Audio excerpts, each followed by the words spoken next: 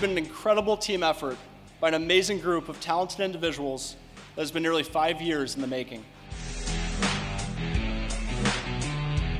This High Street Place Food Hall is quite special.